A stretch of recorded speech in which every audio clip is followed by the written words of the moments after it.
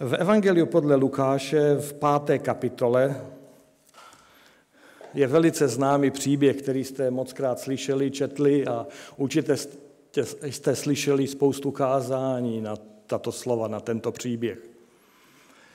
Jak jsem řekl, jsem nikdy ve sboru ve Zlíně nebyl, takže poslední dva týdny jsem si něco načetl o Zlíně, o okolí, o tom, co se tady dělo, a tak jsem vybral takový ten baťovský příběh z Bible.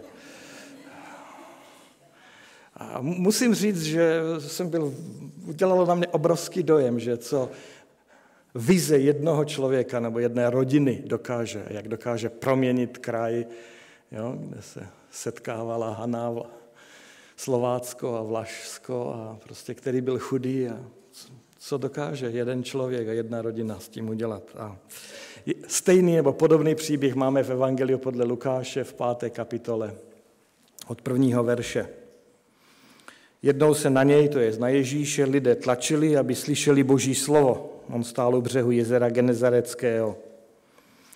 Tu uviděl, že u břehu jsou dvě lodi, rybáři z nich vystoupili a vypírali sítě. Vstoupil do jedné z lodi, která patřila Šimonovi a požádal ho, aby odrazil kousek od břehu. Posadil se a z lodi učil zástupy. Když přestal mluvit, řekl Šimonovi, zajet na hlubinu a spustte své sítě k lovu. Šimon mu odpověděl, mistře, namáhali jsme se celou noc a nic jsme nechytili, ale na tvé slovo spustím sítě. Když to učinili, zahrnuli veliké množství ryb, až se jim sítě trhaly. Dali znamení svým společníkům na druhé lodi, aby jim přišli na pomoc. Oni přijeli a naplnili rybami obě lodi, že se až potápěli. Když to Šimon Petr uviděl, padl Ježíšovi k nohám a řekl, odejdi ode mě, pane, vždyť já jsem člověk hříšný. Neboť jeho i všechny, kteří byli s ním, pojal úžas nad tím lovem ryb. Stejně Jakuba i Jana, syny Zebedeovi, kteří byli Šimonovými druhy.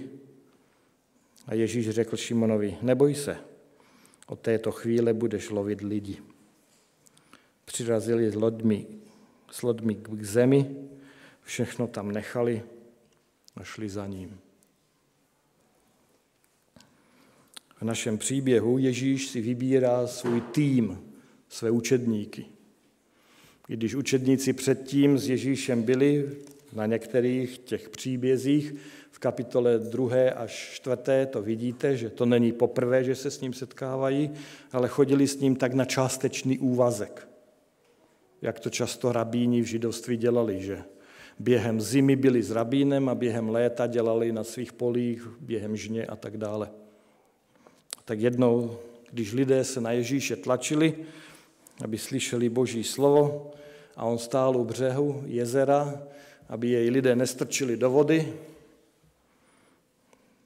tak vstoupil do jedné z lodí, která, která patřila Šimonovi. Víte, co je zajímavé? Já bych čekal, že učedníci budou sedět v první řadě tím, že jsem učil na semináři, vím, jak často mladí studenti sedí a chtějí zapsat si nějaké to kázání od učitelů, aby až pak přijdou na sbor, také mohli něco, aby už něco měli jo, do zásoby. A učedníci tam nesedí v první řadě a nepíšou si kázání, aby měli dobré poznámky.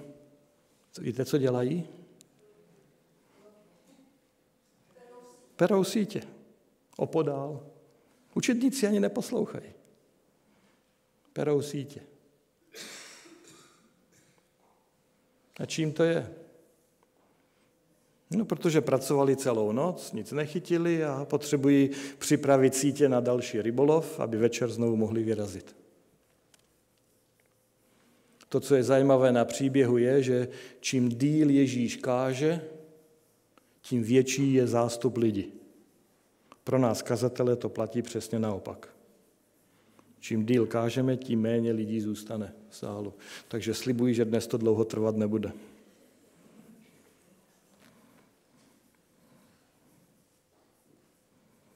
A Ježíš si toho všimne a řekne, hej Petře, Můžeš mi pomoci? Mohl bych použít tvoji loďku jako pódium pro mé kázání?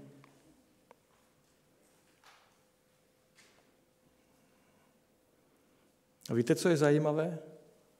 Že Petr nechá toho, co dělá, a jde pomáhat Ježíši. Takže po tom prvním překvapení, že Petr tam nesedí v první řadě a nedělá si poznámky, aby si zapsal to hezké kázání od Ježíše, protože, jak říká Lukáš, on kázal boží slovo. Hned je tady první test učednictví. Je Petr člověk, který je ochoten k akci? Jestli Ježíš chce mít učedníky, který, kteří budou s ním na plný úvazek, potřebuje lidi, co jsou ochotní k akci. Potřebuje člověka, který, který neřekne, ale vždyť loďka je tam, tak si ji půjč, stejně už mluvíš moc dlouho. Šimon přijde, veme Ježíše do loďky, odrazí od břehu a Ježíš se může věnovat kázání, aniž by měl strach, že ho lidé strčí do vody. Jak lehké by bylo říct, loďka je tam, vesla jsou taky, tak si ji půjč, odraz od břehu, postarej se sám o sebe. Ale Petr říká, počítej se mnou, já to pro tebe udělám. A protože Šimon byl člověk, který byl ochoten se angažovat pro Ježíše, celý jeho život se změní. Takže první poučení z našeho příběhu. Ježíš hledá lidi, kteří jsou ochotní se zapojit. Kteří nebudou jenom diváci, kteří budou učedníci. Kteří budou ochotní s tím Ježíšem jít, žít, pro něj něco udělat, zapojit se do jeho díla. Vybudovat jakoukoliv, jakoukoliv firmu je těžké, ale budovat církev je přímo nemožné. A proto lidé potřebují, proto Bůh potřebuje lidi, co jsou ochotní se zapojit do akce. Kdysi lidé potřebovali vedoucího, takového Mojžíše. Mojžíš přichází z hory Sinaj, zářící tvář a říká, já jsem viděl Boha. A lidé řeknou, jo, tak to jdeme za tebou. V dnešní době, když lidem v zaměstnání nebo někde jinde řeknete, já jsem vám měl takovou zkušenost s Pánem Bohem. Co vám řeknou? Hmm, to je zajímavé. Já jsem rád za tebe, ať se ti daří.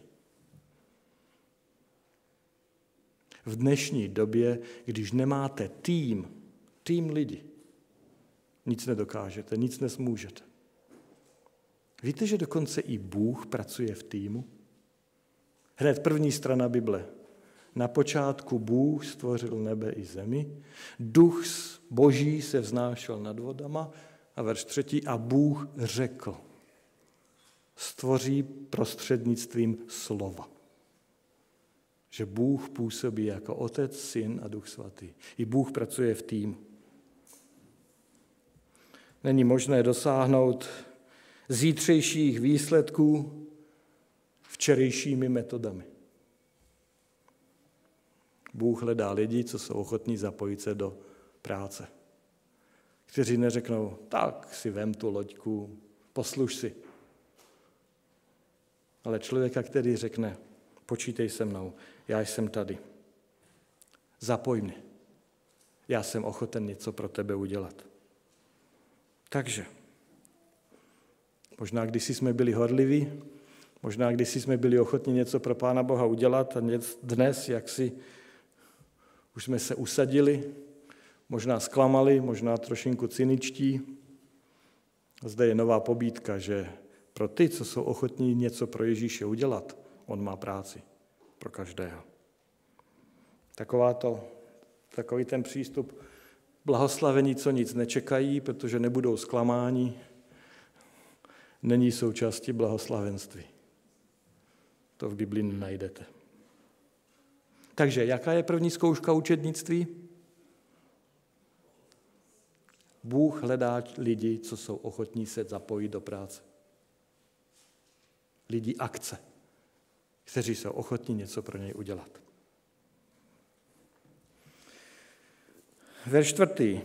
Když přestal mluvit, řekl Šimonovi, zajed na hlubinu a spušte své sítě k lovu. Šimon mu odpověděl, mistře, namáhali jsme se celou noc, nebo pracovali jsme celou noc a nic jsme nechytili. Ale na tvé slovo spustím sítě. Ježíš je tesař, Šimon je rybář. A jak znáte jeho temperament z Evangelii, můžete si být jistí, že měl tu nejlepší loďku, nejlepší sítě, vždy je zrovna spravoval, aby je na večer měl zase připravený k akci.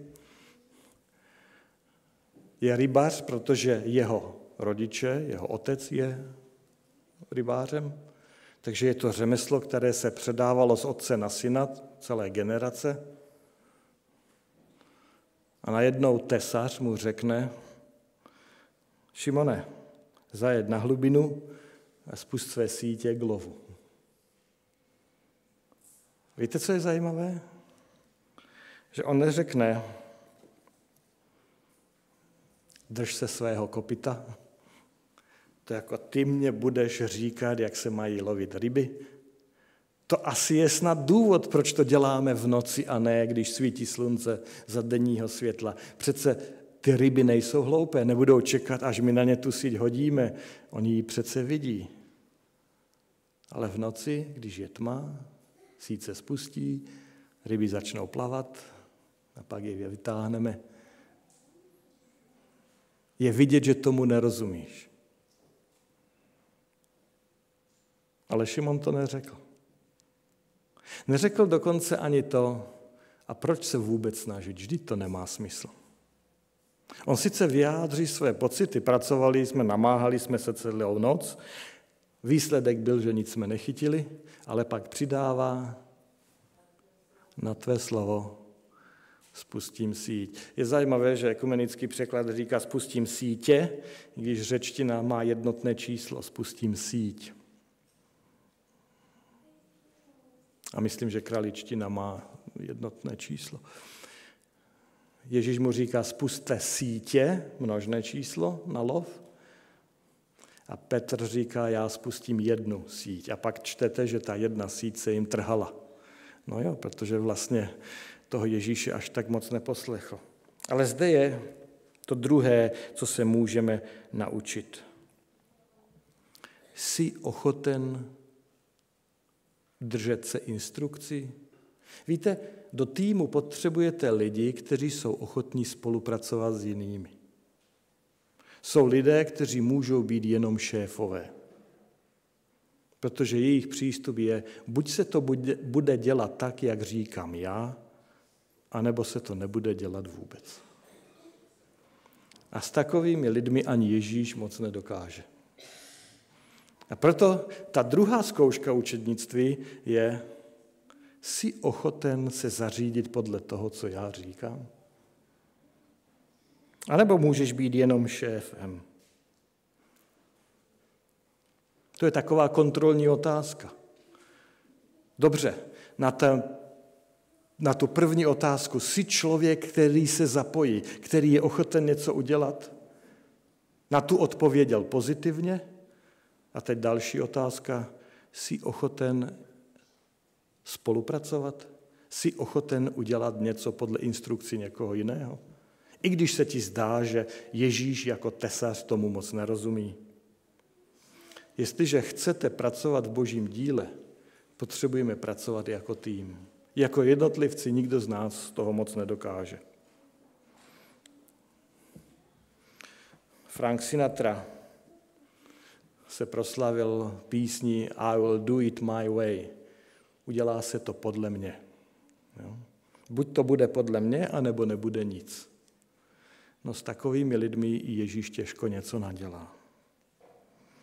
Petr říká, i když se mi nechce, i když jsem unaven, i kdybych raději se šel vyspat, než na další výpravu rybářskou, přesto, když to říkáš ty, já to udělám.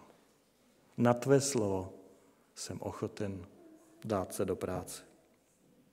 Představte si, jaký by byl náš život, kdybychom každý z nás byli ochotní v životě říct vícekrát, když to říkáš ty, já to udělám. Na tvé slovo jsem ochoten se zapojit. Na tvé slovo já se do toho pustím. Ne, nemůžu, nechci, nejde to, ale já spustím síť.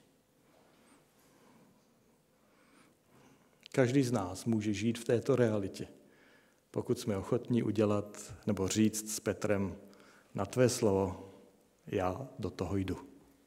Já to udělám.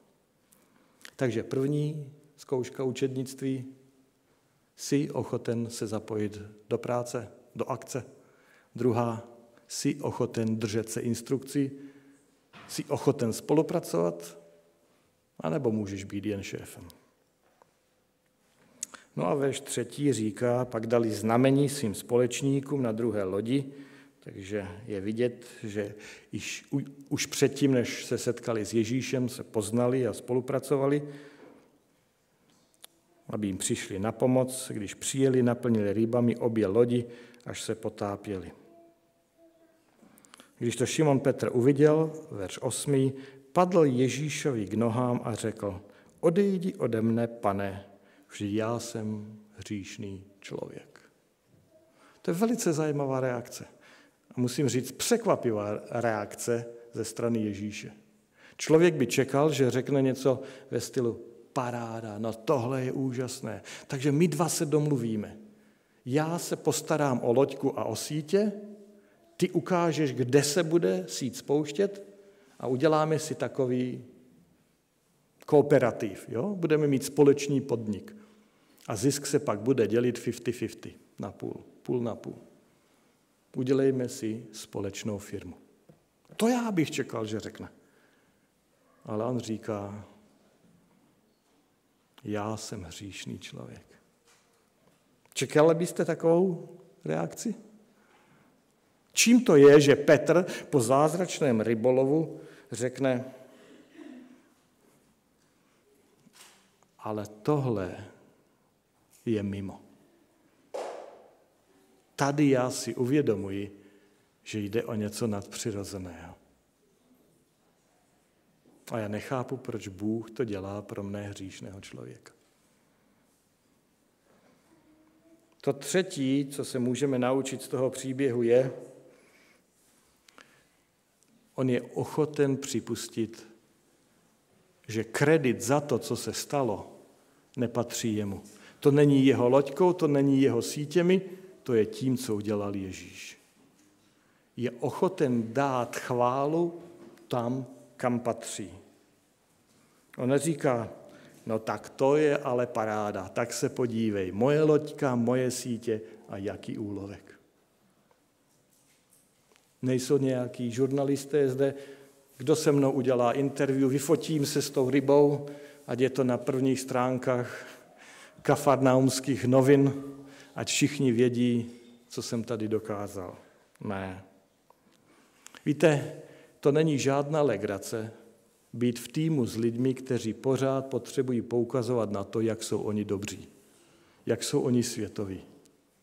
A pořád potřebují, aby pozornost byla na nich. Když Ježíš udělá tento zázrak, Šimon přejde i tou třetí zkouškou učednictví. On si uvědomí, ale to není tím, co já jsem udělal, to není tím, čím já jsem přispěl. Já jsem jenom hříšný člověk. A víte, co je zajímavé?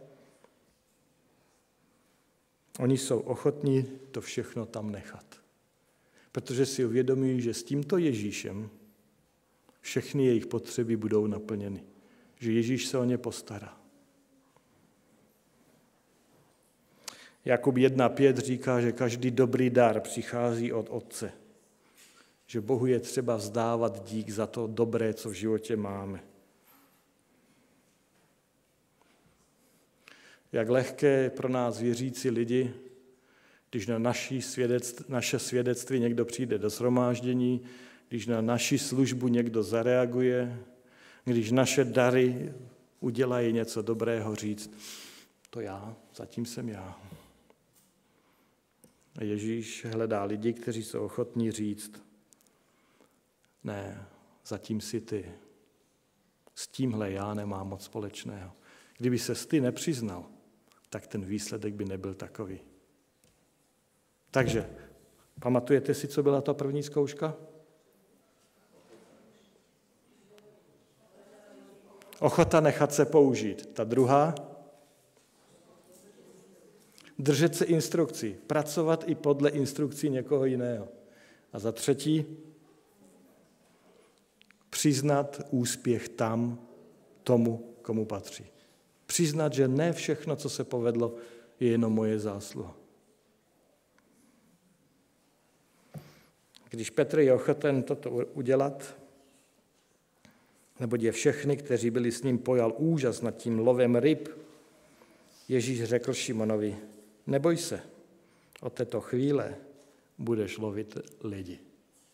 Ježíš mu nabídne větší vizi. To čtvrté z našeho příběhu je, Ježíš vždycky nabízí větší vizi. Ježíš rozšiřuje ty jeho obzory. Ježíš mu říká, a to se vám líbilo? To vám udělalo radost? To vás potěšilo? To byl pro vás zážitek? Tak já, vám, já mám pro vás něco lepšího. Nejenom vzít ryby, prodat je na trhu, potěšit se z utržených peněz a večer dát se do práce, abychom ulovili další ryby, prodali na trhu a ten koloběh. Já mám pro vás něco lepšího. A víte, co je zajímavé? Že to, že on má pro ně něco lepšího, k tomu nepotřebuje znevážit to, co Petr dělá. Víte, že v Československu moře nemáme, že jo? Takže já jsem si nikdy neuvědomil, jak smradlavý job ten Petr měl. Až když jsem poprvé s moravskými kazateli v 96. roce navštívil Řecko a byli jsme v Tesalonikách a stáli jsme tam v tom přístaviu, přístavě a všechno to tam tak smrdělo po těch rybách, jsem si uvědomil člověče a tohle ty jsi dělal každý den, celý život. Ježíš nepotřebuje Petrovi, Petrovi říct, Petře, a tohle ty považuješ za výhru v životě? Ulovit pár ryby, ryb, prodát je na trhu a pak to samé dokola. No já mám pro tebe něco lepšího. Oteď budeš se svatými knížkami chodit dům od domu. Nebo teď budeš kazatelem a dostaneš svatější, lepší job. Ne, Ježíš nepotřebuje znevážit to, co Petr dělá, aby mu nabídl něco lepšího. Ježíš mu říká, ty můžeš mít vliv na jiné lidi, jaký si ani nedokážeš představit. Tohle vám dělá radost? Paráda. Určitě ta společnost v tom místě, v tom městě, v té době rybáře potřebovala. On se postaral o to, aby lidé měli co jíst, aby mohli dělat, co společnost potřebovala a život a společnost šli dál. Ale on mu říká, a já mám pro tebe jinou vizi. Ježíš mu rozšíří obzor a říká, ale ty můžeš mít ještě větší vliv na lidi, než jenom když prodáš ty ryby. A vyděláš ty šekely, ty peníze. Ty můžeš lovit lidi, jak je to tady přeloženo. Všimněte si, on mu nepotřebuje říct, no, ty nejsi moc duchovní, když takhle se nadchýnáš tím, kolik ryb máš v síti. Nepotřebuje mu říct nějaké duchovní vydírání, No tak snad nemyslíš vážně, že do konce života bys chtěl jenom chytat ryby.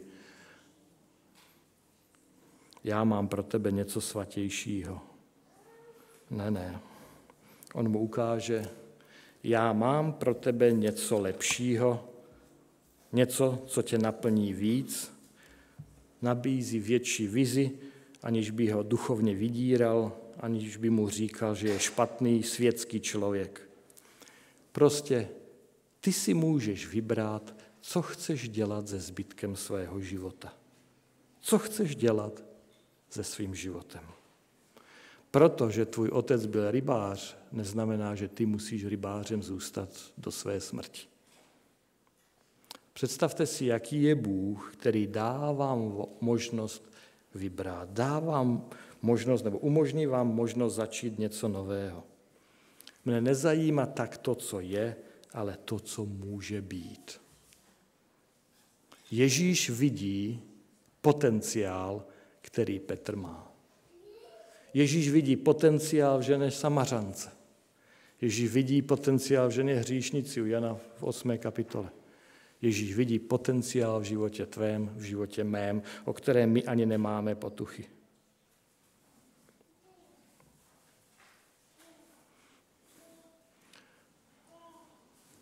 Ježíš nejenom, že změní tu navštívenku, tu business kartu Petra, Ježíš změní jeho nasměrování. Dá mu větší rozhled. Dá mu jiný pohled na svět, na lidi.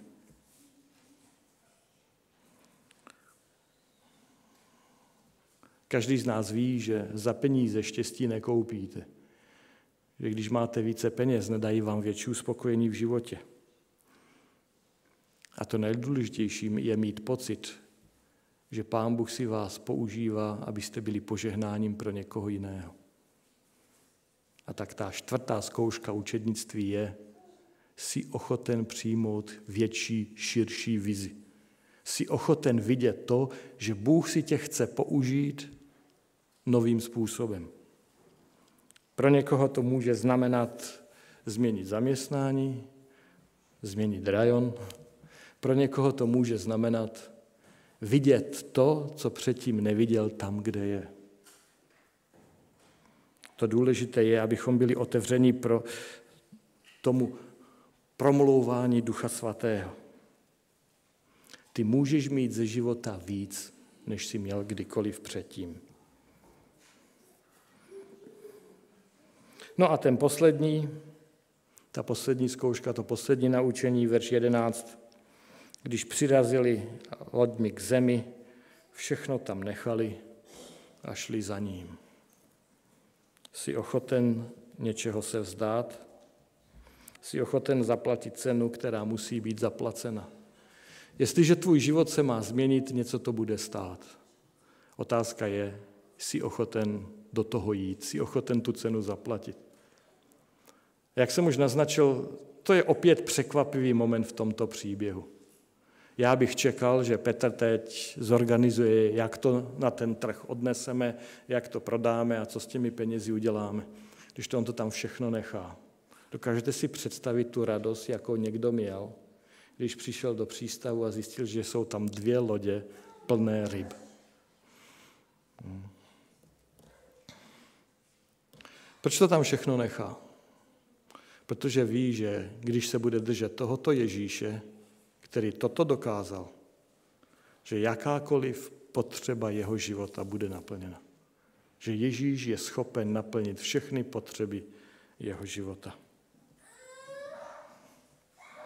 Jsi ochoten zaplatit cenu, kterou je třeba zaplatit. Jsi ochoten se i něčeho vzdát.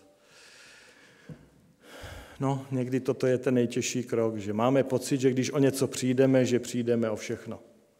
A Ježíš ukazuje, nemusí to tak být. Jistě, pro některé to znamenalo opustit původní povolání, pro některé to znamená přeorientovat se ve směru, pro někoho to znamená začít něco nového, do čeho se předtím nepouštěl, pro někoho to znamená prosit o nové srdce,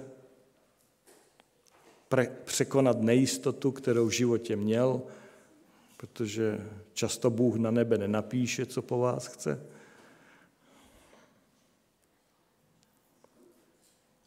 Ale tito ryba, rybáři vědí, s Ježíšem budoucnost je jistá.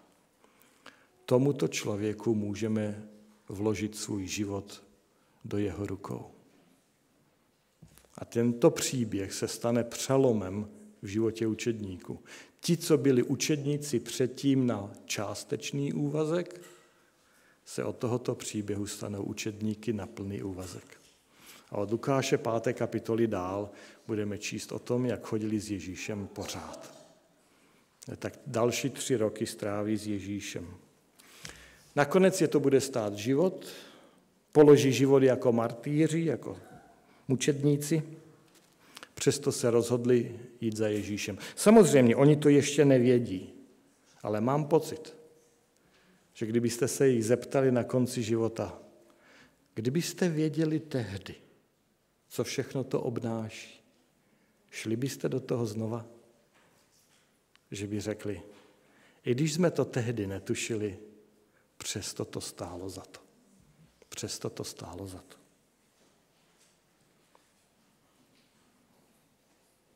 Nikdo z nás neví, kolik času každému z nás bývá.